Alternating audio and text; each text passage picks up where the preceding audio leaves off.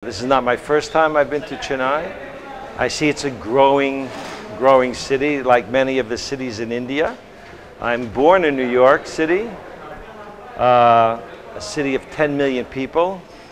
I grew up in New York and I lived there till I was about 25 and then I moved to Europe. I moved to Europe because I wanted to get out of the big city of New York. It was a very, of course, New York is very exciting city, but it's a, a stressful city. There's a lot of a lot of stress when you to live there, and uh, plus the fact that you need a lot of money when you're living in a big commercial city. It's more expensive than when you're living in a smaller town.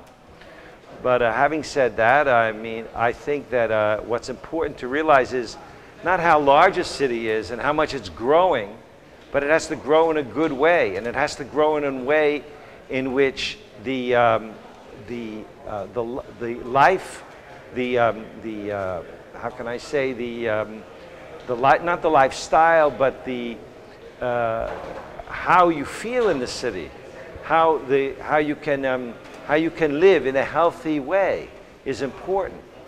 Uh, so the life quality, let's say the life quality has to be maintained. It doesn't make any sense to, to have a city grow and grow and grow if the quality of life for the citizens is not improving. Uh, it's very easy to build new buildings and have a lot of industry and so on and so forth.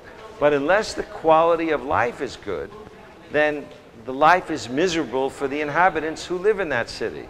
Walking here just less than a kilometer through all the traffic and the, the honking of the horn and the, and the pollution and what have you, it wasn't really a very good experience for me. And um, I think it's very important that um, the cities in India, which are growing very rapidly due to the, um, uh, the development of the economy and developing of new industries and new businesses, the cities must grow in a way in which it is becoming more functional and better quality for, more functional to live and better quality for the citizens.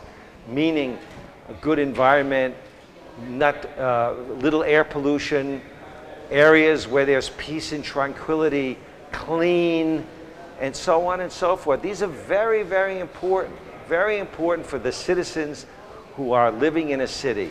So whether they can afford a, a very expensive apartment or home, or whether they're middle class, or whether they're lower class, they all need to have an environment where they can feel like uh, human beings, where they can say, yes, we have the quality of life that we need.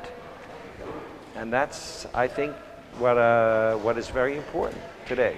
What we have to really um, try to find ways of attaining that. Thank you.